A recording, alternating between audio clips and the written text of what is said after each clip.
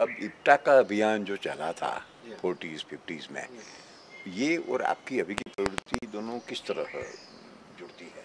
ये सवाल बहुत अच्छा है इस मायने में कि इप्टा के काम में अब बहुत परिवर्तन हुआ है।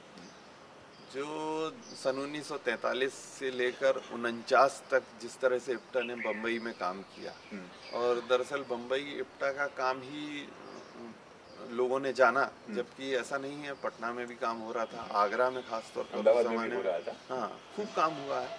लेकिन वो रेखांकित जो हुआ वो बम्बई इप्टा का। और सन उनसठ आते आते।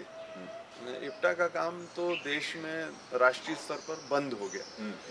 सन 1985 में बहुत सारे लोग जुड़े। आगरा में एक कन्वेंशन हुआ। हम्म, तो आगरा कन्वेंशन में फिर से एक तरह से नया उभार आया और उसी के प्रेरणा स्वरूप उन्नीस सौ छियासी में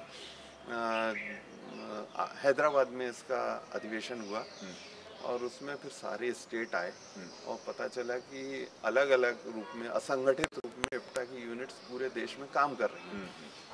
और उसका परिणाम ये हुआ कि अब सन छियासी से इसकी गतिविधियों में एक निरंतरता आ गई है। लगातार राष्ट्रीय स्तर पर ये काम कर रहा है। बहुत सारे इसमें युवा अब आ गए पहले जो आगरा कन्वेंशन वगैरह हुआ था उसमें सारे बुज़ुर्ग थे। लेकिन सन छियासी में जब देखा गया कि पटना में भी बहुत सारे लोग हैं मध्य प्रदेश में बहुत सारे लोग हैं उत्तर प्रदेश में बहुत सारे लोग हैं तो अब जो लोग इसमें सक्रिय हैं वो सब युवा हैं अपेक्षाकृत युवा हैं। और इसीलिए एक नई सोच भी आ गई। पहले इप्टा जो था उसको ये माना जाता था कि ये कम्युनिस्ट पार्टी का एक अंग है। और उसका पूरा व्यवहार भी वैसा ही हुआ करता था। लेकिन अब इसमें वो बात नहीं है। हम जो सहज मानवीय मूल्य हैं जो शोषित पीड़ित की समस्याएँ हैं निश्चित रूप से आज भी उन्हीं का प्रतिनिधित्व और उन्हीं को प्रदर्शित करने के लिए नाटक और कला के सभी माध्यमों पर काम करते हैं। लेकिन अब वो संकीर्णता नहीं पूरी व्यापकता है और बहुत उदारता है।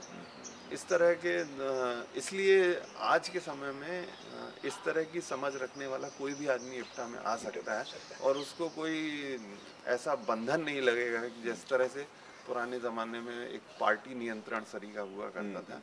अब वो बहुत व्यापक और खुला मंच है जिसमें सब तरह के लोग आते हैं।